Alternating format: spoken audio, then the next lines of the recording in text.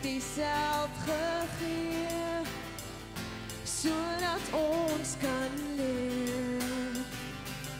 U wese skyn met liefde deur ons is verlore sonde.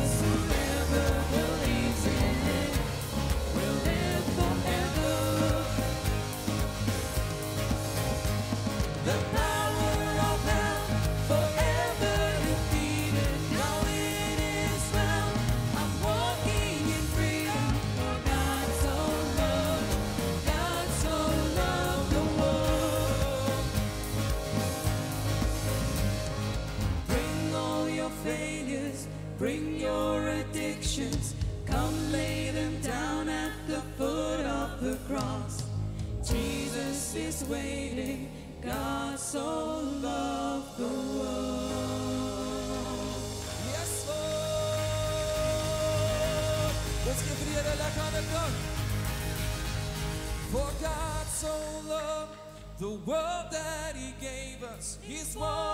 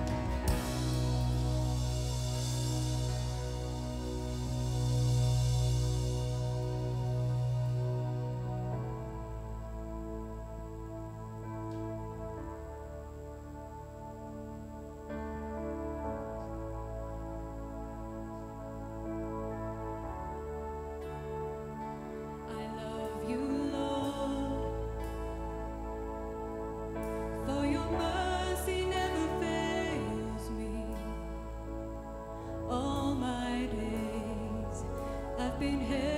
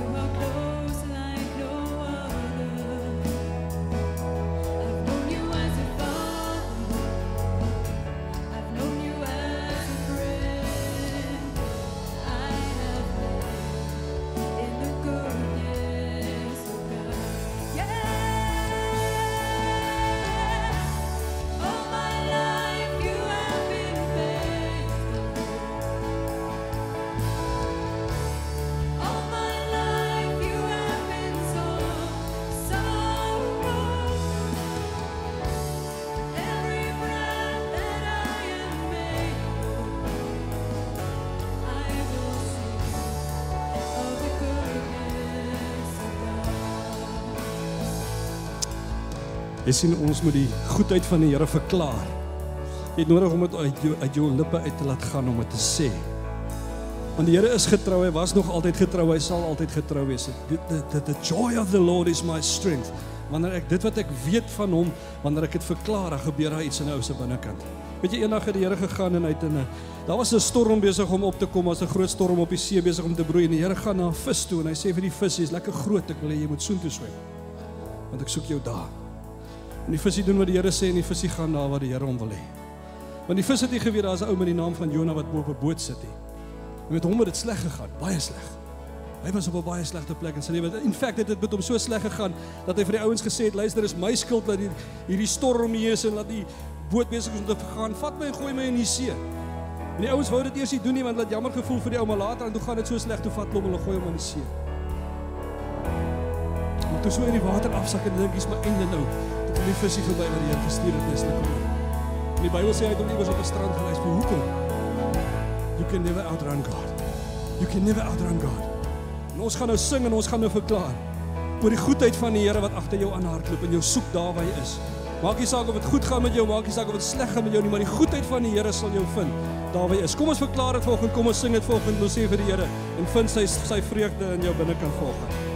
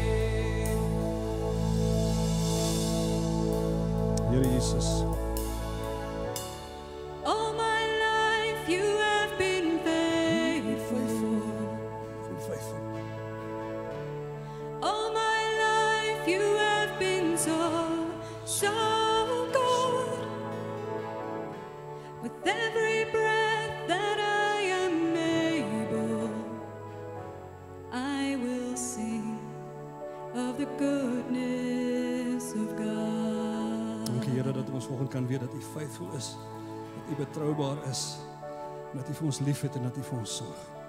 Dankie Here dat U alles gedoen het sodat ons kan lewe en lewe in oorvloed hê. Ons eer U vanoggend, al die lof kom U toe, al die heerlikheid kom U toe. En ons wil vanoggend sê ons is lief vir U Here. En ons wil op 'n manier wat ons ons lewe aan mekaar sit, wil ons eer bring aan U. En wil ons U eer gee. Ons ons loof U vanoggend in die, in die naam van Jesus. En ons almal sê Amen. Nou wil ek hê kyk gou ou daar langs jou in die oë as die ligte aankom wil ek hê groet gou iemand daar sê 'n bietjie vir hom die Here is goed vir jou en hy's goed vir my.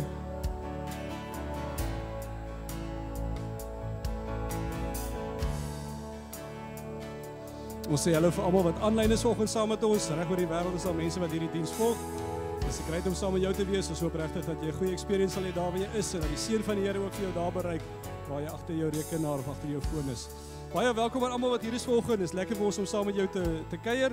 As jy nuut is, uh, miskien vanoggend daar voor jou in die in die bank is daar so 'n connect kaartjie. Jy kan gerus vir ons jou inligting daar gee en dat ons sal ons bietjie by jou uitkom in die week en hoor wat jou behoefte is en of ons op 'n manier saam met jou kan kan ietsie doen. En uh, dis sommer net lekker om vanoggend saam met jou te kuier. Hier's 'n hele klomp goeders wat gebeur het die afgelope tyd. Uh, en daar's 'n hele klomp goed wat nog aan die kom is, so kom ons kyk gou na die volgende.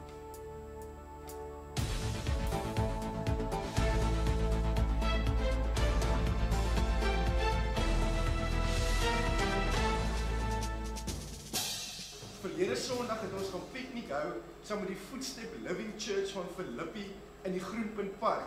Kom ons kyk nou 'n bietjie terugvoer. Dit was 'n great geleentheid geweest. Almal het dit geniet en lekker geëet, saam gespeel, saam ontspan, bietjie rondgeloop daar in die park. Uh en vir baie van die mense wat in Filippi bly, dit was die eerste keer om in Seepunt area te kom en ook die see te sien. So dankie vir almal wat deelgeneem het en ons maak volgende keer weer so. Ons eerste uitstapie as 'n groep was 'n great geleentheid geweest en ons beplan 'n volgende event Vrydag aan die 6de Maart wanneer ons as deel van die Galileo Open Air Cinema by Berendal vir Bohemian Rhapsody gaan kyk. Die show begin kwart voor 8 en ons sal al die inligting vir julle nader aan die tyd deurgee. What's the lyric?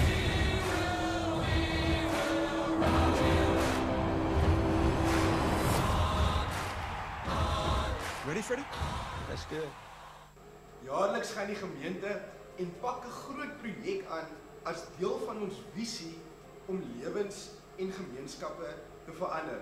Vanjaar maak ons weer so wanneer ons na die Norwood Primêr in Elsie se rivier gaan waar ons die skool bietjie van 'n facelift gaan gee. Ons het so plus minus 150 mense nodig en indien jy nie in 'n huiskerk is nie, kan jy na die diens jou naam by die info toonbank gaan opskryf.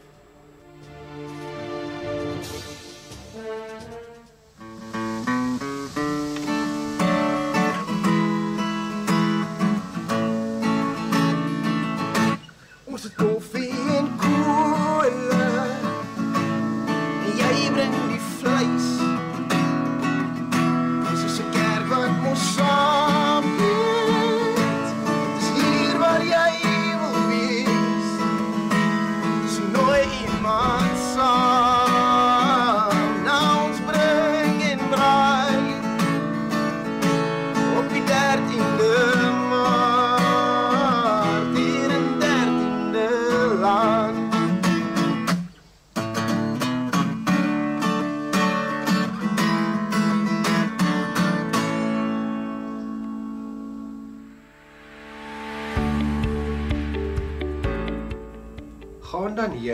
en maak disippels van alle nasies. Ons as gemeente wil hierdie woorde van Jesus prakties uitleef. Daarom is ons visie vir ander lewens en gemeenskappe. Deur korttermyn uitreike skep ons vir jou 'n platform om dit te gaan doen. Ek is Nico de Kok. Ek was Mosambiek toe en my lewe het verander. Ek is Frans van Brouwer. Ek was Lesotho toe en my lewe het verander. My naam is Niels Visser. Ek was Mosambiek toe en my lewe het verander. My naam is Liesel. Ek was in Rooiwal en my lewe het verander. Goeiedag, my naam is Bossie Bosman.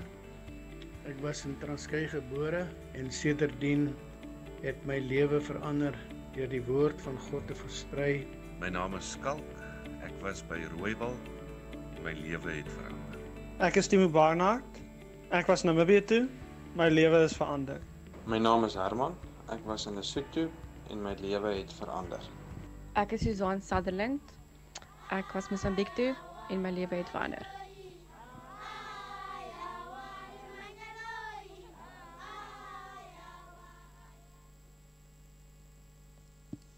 Goeiemôre. Almal hierso? Wie se lewens het nog verander? Kom, hier's baie mense. Ek sê jou nou, as ons vir almal die geleentheid gegee het, het ons 12 uur nog nie gesit om te vertel van hoe lewens verander het um, op korttermyn uitreike. So daar is 'n hele klomp weer vir die jaar wat op die tafel is en wat voorberei word. Ehm um, hier's 'n tafel net hier buite in die foyer soos jy uitgaan om na die diens gou navraag te doen, uit te vind, op te sign, deposito's te betaal, kaarte te gee, hele hoeks. Nee, maar okay, jy wil op 'n uitreik gaan, dan uh praat jy net by die tafel of jy soek die man sonder hare. Pita. Hy is die ou wat die uitreik ding doen. So jy kan al die inligting oor uitreike kan jy ehm um, by Pita kry. Liewe gemeente, dan moet ek vir oggend 'n aankondiging maak. Dis regtig nie ernstig nie. So moenie worry nie. Julle sal weet by uh Familiekerk Botlery het ons 'n vakature vir 'n leraar gehad en die kerkraad het donderdag aand 'n jonge dame Lelani van Sail beroep. Sy is tans proponent in Rodekraans gemeente daar in Rodepoort in die buiteland. Ehm um, so sy sal as alles goed gaan, ons moet vir twee Sondae dit afkondig. As jy iets weet van haar waarvan jy nie hou nie, moet jy vir ons kom sê. Ehm um, sodat ons 'n stok in die wiel kan sit dat dit nie gebeur nie. Ons glo nie dit sal die geval wees nie. Ehm um, maar as alles goed gaan, sal sy min of meer vanaf middel April sal sy 'n uh, leraar daar wees en bevestig word dan Sondag die 19de April. Ek is oortuig daarvan binne die volgende maand 2 gaan julle vir haar hier van die platform af sien en hoor Ehm um, so onthou die naam, Lelani van Sail, bid vir die proses. Ehm um, ons glo en vertrou, dis 'n mooi proses en ons weet die Here gaan aanhou mooi dinge doen by Familiekerk Botlery waar Leon vanoggend is. Ons is nog steeds besig met ehm, 'n um, reeks met die naam Open of Oop, as jy nou nou wil 'n purist wees in die taal. Ek het uh, vir 3 geleenthede nou met die met die met die module waarmee ek besig is by die Bybelskool die wonderlike geleentheid gehad om 'n bietjie te praat oor die Ou Testament. Ja, die Bybel het twee dele.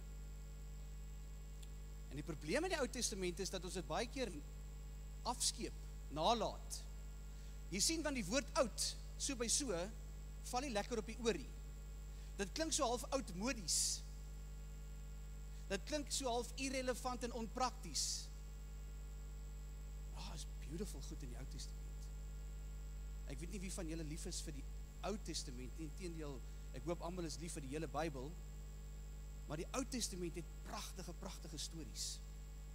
En so het ons ek sommer in die begin van die sessie wat ons bymekaar is, het ons bietjie gepraat met mekaar oor die knoop van 'n storie.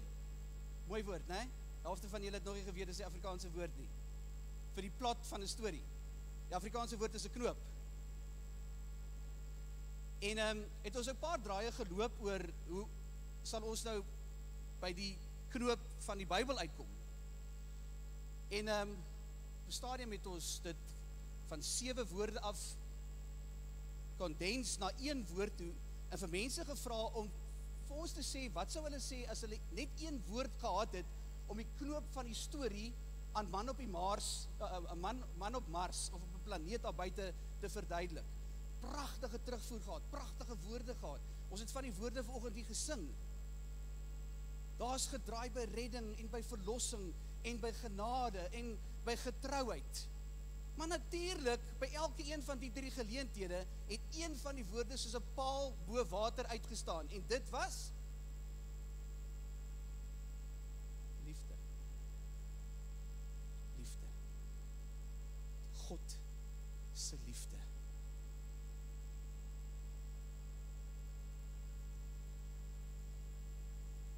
Wanneer laas het jy die woorde gehoor?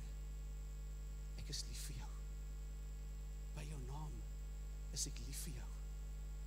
Ek is tot die dood toe lief vir jou. En ek bedoel dit want ek het my lewe gegee vir jou. Ek is lief vir jou. Ten spyte van en sonder voorwaarde is ek lief vir jou. Wanneer laas het jy die woorde gehoor? Kan ek vir jou herinner daaraan? Ons moes eintlik volgende tyd gehad het vir een of ander spirituele oefening wat jy bietjie kan terugsit en jou oë toemaak en ek lees vir jou die volgende. As jy dit wil doen, is jy baie welkom om dit te doen. En luister na die volgende woorde. Werklike liefde is dit. Nie die liefde wat ons vir God het nie, maar die liefde wat hy aan ons bewys het deur sy seun te stuur as verzoening vir ons sondes. Werklike liefde. Romeine 5 vers 8. Maar God bewys sy liefde vir ons juis hierin dat Christus vir ons gesterf het toe ons nog sondaars was. Ek is lief vir jou. Efesiërs 3:18 herinner Paulus vir ons mag julle in staat wees om saam met al die gelowiges te begryp hoe wyd en ver en hoog en diep die liefde van Christus trek. Liewe vriende, die wese van God se karakter is liefde. Al voel dit nie altyd vir ons so nie, al lyk dit nie altyd vir ons so nie, maar ek moet hierdie waarheid vanoggend aan jou verkondig. Ek moet hierdie waarheid vanoggend aan jou bring. God is liefde. Dit is die Bybelse storie. Ek hoop jy het op 'n manier dit reg gekry om oop te maak om dit te ontvang. Want ek weet nie wat op die oomblik jou dalk occupy nie. Jy sien ons is almal die hele tyd besig met goed hier in die binnekant. of dit nou hier in die boksie bo is en of dit nou hier ergens in die borskas is, ons is almal besig met staf. En die vraag is of ons genoeg tyd maak om oop te maak om die liefde te ontvang. Om net terug te sit en dit in te drink. Dit in te neem. Want hoe anders kan dit as om jou lewe nie te verander nie? Dit moet sekerlik iets doen aan jou. Hoop ek, glo ek, vertrou ek vanoggend. God is liefde. En God is lief vir jou. Feit van die saak is dat ons ongelukkig nie vanoggend net daarby kan stil staan. Ek sou graag wou. Ek sou graag dat ons vir die volgende uur of 2 net ponder. Net net dit net net net stil raak en en die grootheid daarvan probeer op 'n manier verstaan en begryp. Maar, maar ons ons het nou hulle van tyd kan ons nie doodgewoon nie. So die vraag is of dit net genoeg is om hierdie liefde te ontvang. Of of die hele Bybelse storie net gaan daaroor om die woorde te hoor dit iets aan jou te doen dat jy dit dat dit maar net vir jou lekker is. Dit dit maak jou warm. Is al 'n lekker gevoel om om dit te hoor. Natuurlik dit ook. Maar ons lees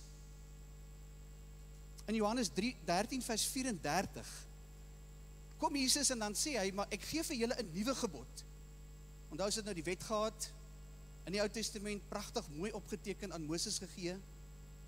Ons het selfs al 'n opsomming van die gebooie in die wette gehad vroeër in die Nuwe Testament. En dan kom Jesus in Johannes 13:34 en hy sê ek gee julle 'n nuwe gebod wat eintlik maar dieselfde is. Net in ander woorde.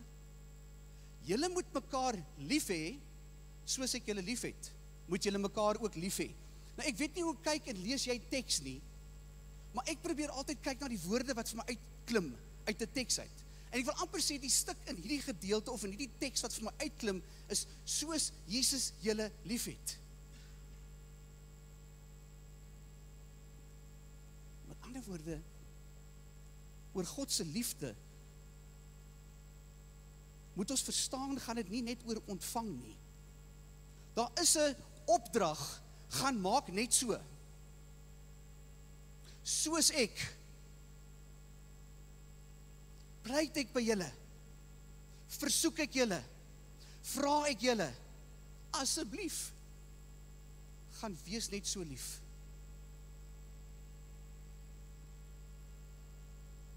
Maar daar's 'n ander twist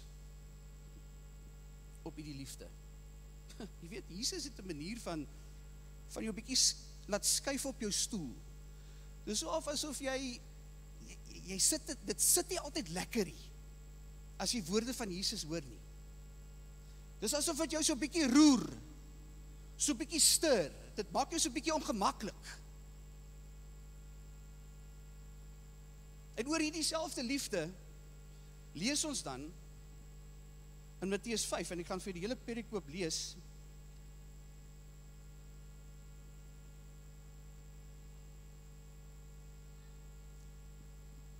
Opskrif by die perikoop is liefde vir die vyand.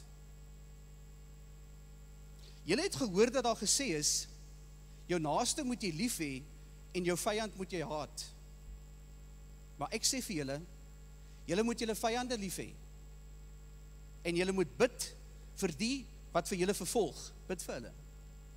Sodat julle kinders kan wees van julle Vader in die hemel. Hy laat immer sy son opkom oor slegtes en goeies en hy laat reën oor die wat reg doen en oor die wat verkeerd doen. As julle net die liefhet wat vir julle liefhet, watter loon kan dan van julle kan julle dan nog verwag? Maak die tollenaars dan nie maar ook so nie? En as julle net julle broers groet en susters, wat doen julle meer as al die ander? Maak die heidene nie maar ook so nie? Dan sluit hy die perikoop af met die volgende woorde: Wees julle dan volmaak soos julle hemelse Vader volmaak is. Wees julle dan volmaak. Nou weer eens dis 'n skrifgedeelte met 'n klomp woorde in en een van die woorde wat my bietjie besig hou die laaste tyd is wees jou vyand. Ek bedoel is jou vyand net die een wat oorlog verklaar soos Goliat en sy manskappe? Of het ons almal maar ons ou klein vyandjies? Ek praat nou nie van jou man of vrou nie.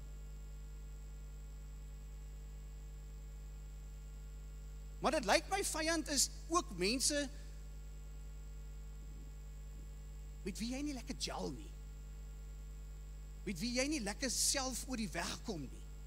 Wat dalk vir jou te nagekom het of jou seer gemaak het. Lyk my 'n mens sou persoonlike vyande onder daai kategorie kon intrek.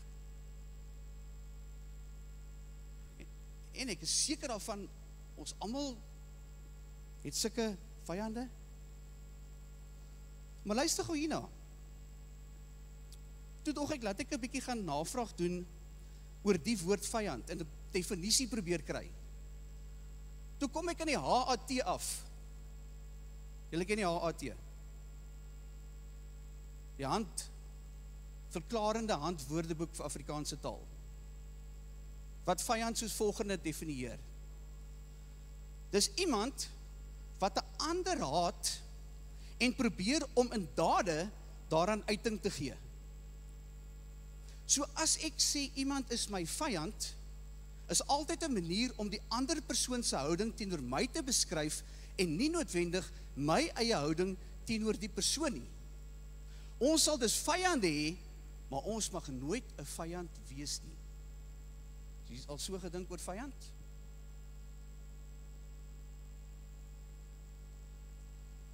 En dan gaan die gedeelte verder en sê maar in Matteus 5 is daar twee tipes vyande. As die vyande van die koninkryk van God wat nie Jesus se wil soek of wil dat God alles in almal sal wees nie en natuurlik dan die persoonlike vyande.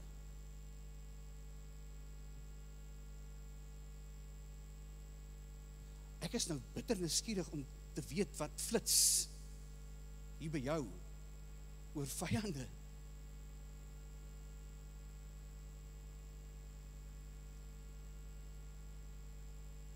En hoe die vyande lyk en wat die vyande gedoen het aan jou.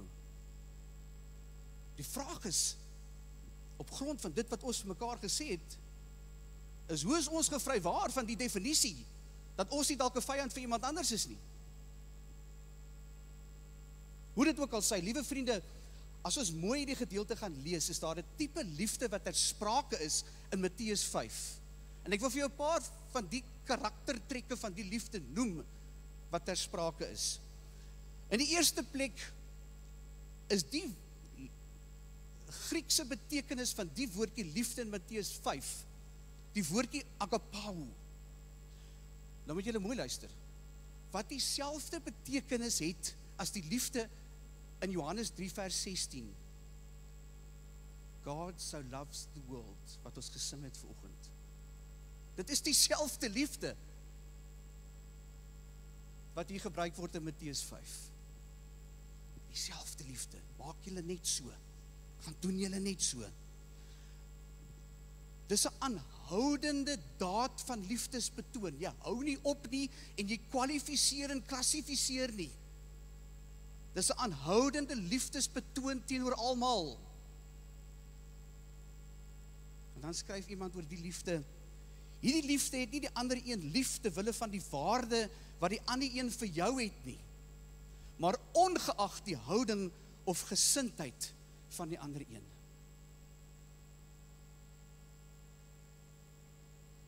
Kom ek wys jou vanoggend om iets verder te beskryf oor en van die liefde wat ek wat ek wil hê jy moet kyk na uit die fliek. Ek het gaan Google oor hoe spreek jy dit uit? Les Miserables. Is dit hoe jy dit sê? Ek weet nie of van julle die fliek gekyk het nie. Kyk 'n bietjie net na hierdie tipe liefde.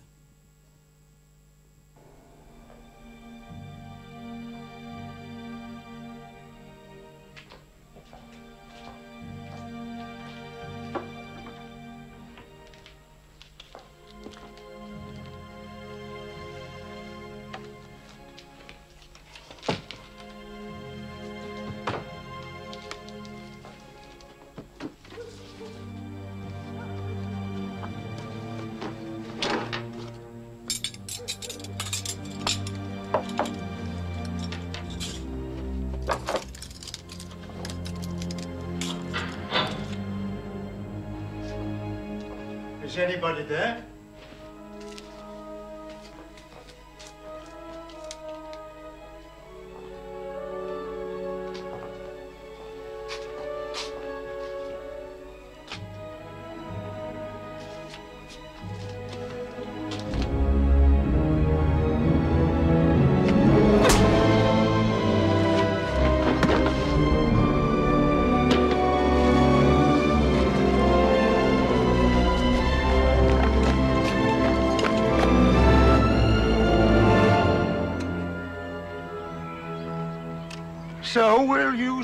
Spoons. I don't want to hear anything more about it. I'm sorry to disturb you. You caught him. But I had my eye on this man. Oh, and Thank God. I'm very angry with you, Jean Valjean. what happened to your eye, Monseigneur? Didn't he tell you he was our guest last night? Oh, yes. After we searched his knapsack and found all this silver, he claimed that you gave it to him. Yes. Of course I gave him the silverware. But why didn't you take the candlesticks? That was very foolish. Madame Gillot, fetch the silver candlesticks. They're worth at least 2,000 francs. Why did you leave them? Hurry. Monsieur Valjean has to get going. He's lost a lot of time. Did you forget to take them? Are you saying he- he told us the truth? Of course. Thank you for bringing him back. I'm very relieved. Release him. You're really letting me go? Didn't you understand the bishop? Madame Gillot, offer these men some wine. They must be thirsty. Thank you.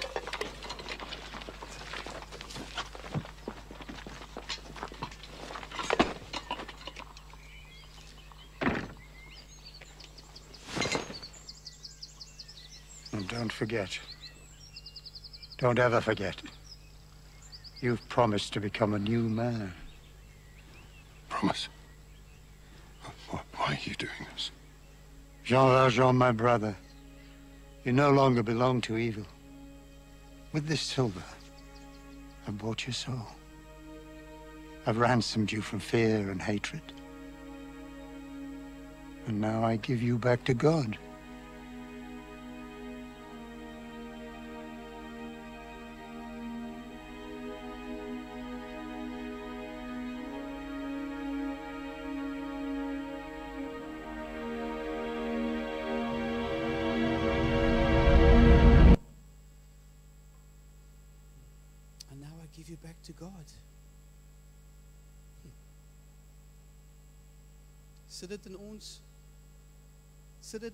In jou en my pype om ook so te reageer op nie net op die steel van goedere nie, maar op die kat swink se klap wat jy trek daardeur.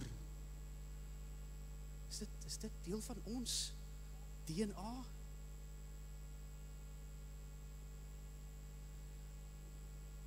Henry Nouwen skryf it is impossible to lift our enemies up in the presence of God and at the same time continue to hate them.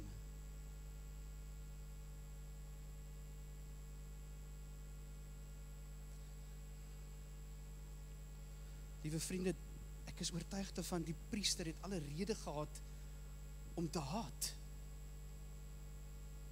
'n 'n natuurlike reaksie is om te wil haat. Om te wil pay back. Om te wil laat opsluit in 'n tronk vir jare en boetes te betaal.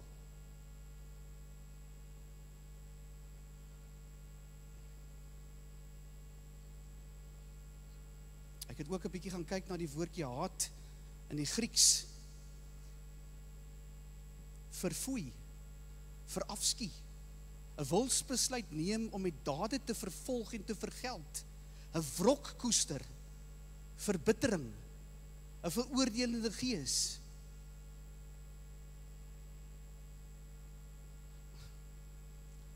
Kyk jy dis asof die goed net dit dra net by tot massa. Dit dra net by tot 'n goed wat jy die heeltyd moet saamsleep. Wa- wa- Want jy sien, haat op die langer termyn nie 'n manier om vir jou vas te bind. Hy neem jou gevange. Daar's nie bevryding nie. Dis asof die ding die hele tyd in jou kop en in jou binneste vir jou jaag. Want jy wil terugkry.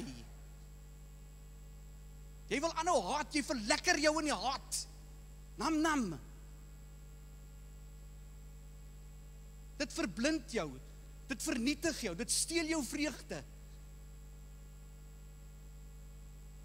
En dan word ons voorgestel en bekend gestel en ingelei in 'n tipe liefde, liewe vriende, wat ons vind reg in die begin van die Bybel in die Ou Testament. 'n Verbondsliefde.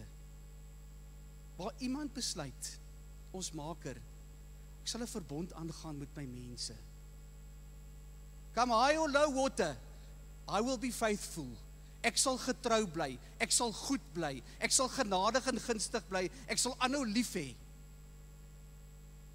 Dan vra hy vir ons, gemaak net so en ons sukkel. Ons kry dit nie reg nie. Miskien moet ons weer gaan kyk na Karl Menninger wat skryf oor liefde wat genees. Vir die wat dit ontvang, ja. Maar veral vir die wat dit onvoorwaardelik gee. Weet jy, Dis bevrydend om soms net humble pie te eet. Dis bevrydend om net soms nie te wil eerste wees nie. Dis bevrydend om die kettinge te knip sodat dit jou nie aanhou jaag nie om die minste te wees. Want liefde overwhelms. Daar's nie 'n antwoord vir liefde nie.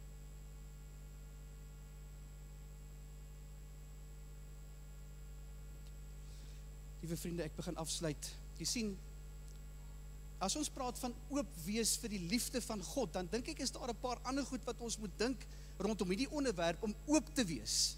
In die eerste plek dink ek moet ons oop wees om te kom by die punt dat ons erken hierdie liefde sit nie in onsself nie. Ek weet nie hoe om dit aan julle te verduidelik nie. Ek het al hoeveel kere in my lewe probeer self lief hê en aangejaag, droog gemaak. Jy probeer in jou eie krag probeer jy lief hê. Tot op 'n punt kry jy dit reg. Daarom is dit nodig om oop te maak ook vir oggend om te erken daar's daar's iets bonatuurlik binne jou nodig om vir jou so te laat lief hê soos Jesus jou liefhet. Bottom line, punt. Jy moet oopmaak, jy moet dit erken. Jy moet besef, jy gaan nie dit in jou eie krag regkry nie. Maar daar's 'n verdere oopmaak wat nodig is. Ons kan net iemand so lief hê as God ons eerste lief gehad het en met sy Heilige Gees in ons hart kom woon en ons begelei om so lief te hê. Jesus verduidelik die geheim die geheim van die vrug van die Heilige Gees wat ons dra is nie dat die lood harder probeer om vrug te dra nie. Die geheim van die vrug van die wingerdstok staan 7 keer in Johannes 15 geskryf. Drie woordjies. Bly in my. Dis die formule, vriende, bly in my. En dis waarvoor ons moet oopmaak. Bly in my. Dwell in me. Drink in. Ontvang, maak oop.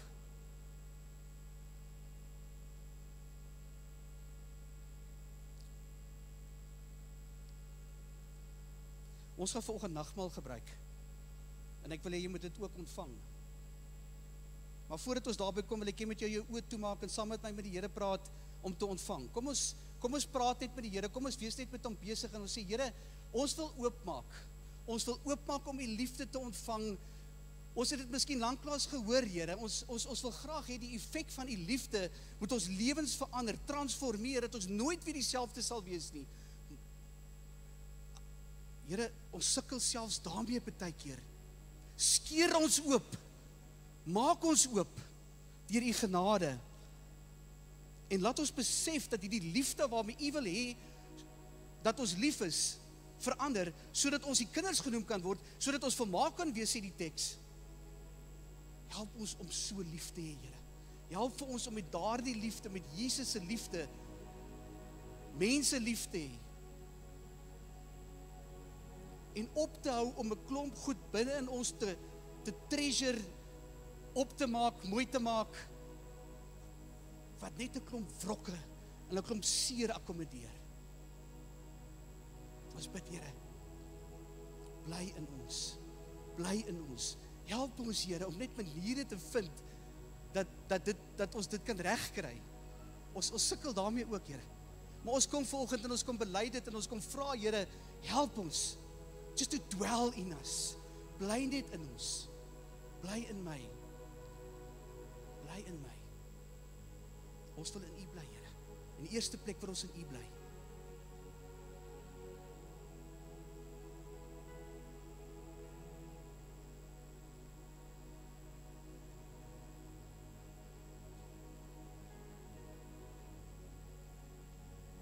Liewe vriende, die feit is dat Jesus nooit iets van ons vra wat hy nie self ook gedoen het nie.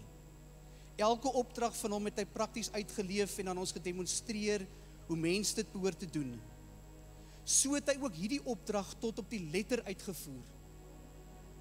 Terwyl hy in pyn aan die kruis hang, het hy by sy Vader vir sy vyand gepleit: "My Vader, vergeef hierdie mense.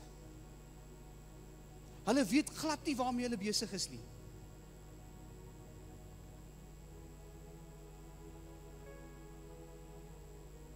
Wil hê jy moet dink aan daai woorde vanoggend as jy die nagmaal tekens ontvang. Ek ek Jesus vra nie iets wat hy nie eers self gedoen het nie. Wat hy nie die voorbeeld kom stel het nie. En as ons vanoggend die nagmaal tekens gebruik en en en dink aan sy bloed wat vir ons gevloei het en sy liggaam wat vir ons gebreek is ter verzoening van al ons sondes. Dan wil ons vanoggend sy liefde kom ontvang sodat ons sy liefde kan gaan gee, sodat ander dit kan ontvang. Ons wil oopmaak. Ons wil oopmaak. Here, ons bid dat U vir ons sal help daarmee.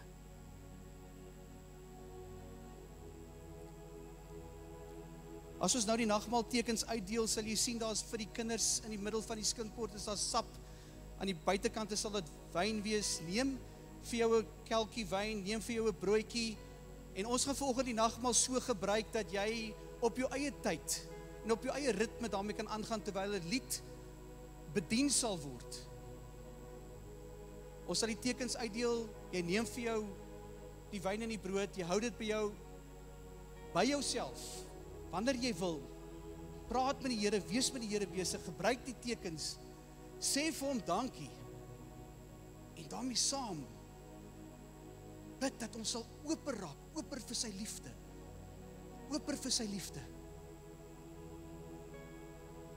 En as jy klaar is met jou kelkie, hou dit by jou. Ons sal aan die einde sal ons weer houers land stuur en sal ons die kelkies in die houers plaas. Kom ons ontvang die tekens. Kom ons gebruik nagmaal ter gedagtenis aan wie Jesus is en wat hy vir ons gedoen het.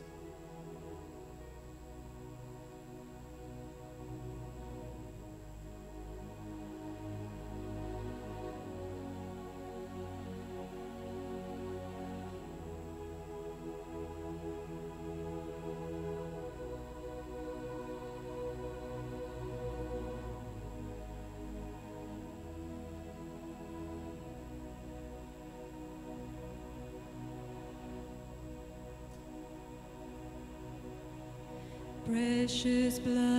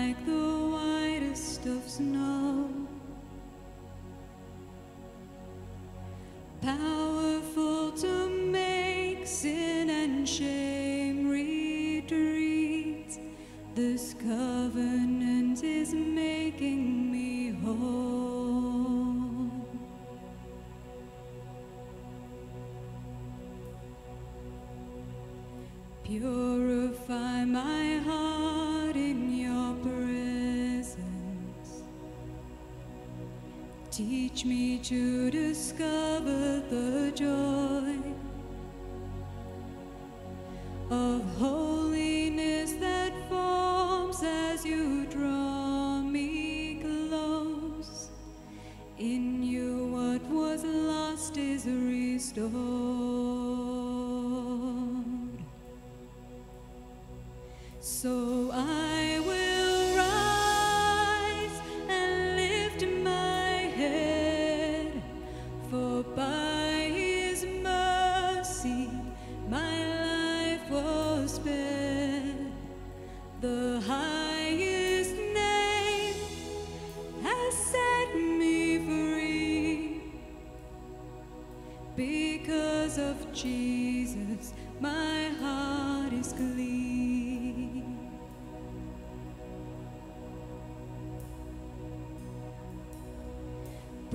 Precious blood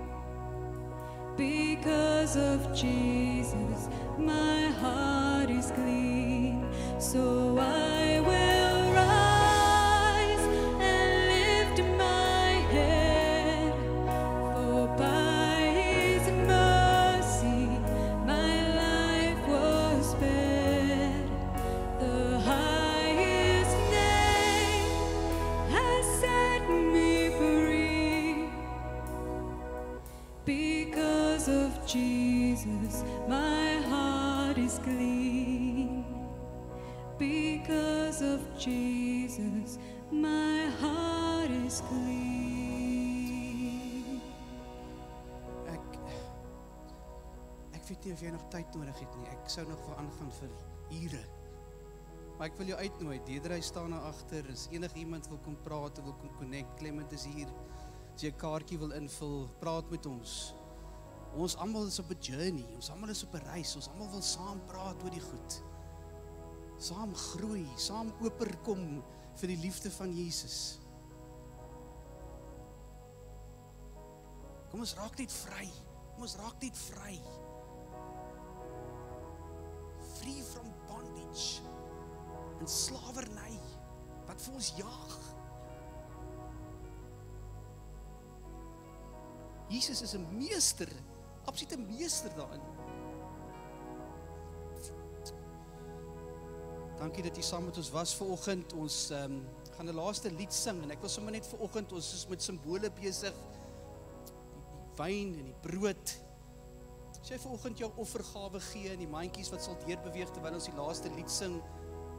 Jy nie net sê dankie Jesus. Ek is lief vir U. Sommige by jouself of as jy dit hardop wil doen of saam met vroutjie Doukie of whoever wil doen. Swy net en sê dankie Jesus. Ek is lief vir U. Ek is lief vir U. Dankie dat U vir my so lief is. Dat U U eie seun nie gespaar het nie. To give me life. Was ander maniere van gee wat ehm um, wat jy ook kan gee, maar kom ons kom ons gee onsself, kom ons gee ons offers as ons hierdie laaste lied sing. Jesus, God so loved the world.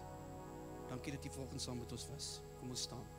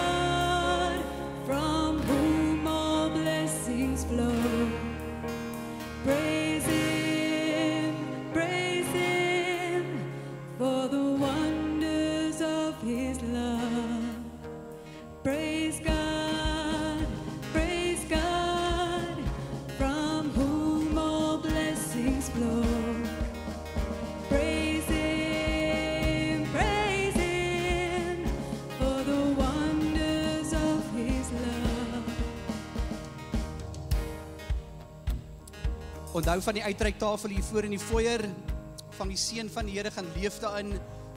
Mag die liefde van God onvoorwaardelike liefde ten spyte van liefde en die genade van sy seun Jesus Christus vir jou en in jou plek gesterf het. Die gemeenskap en die fellowship van die Heilige Gees wees en bly tot hy ons weer kom haal. En ons almal sê saam amen.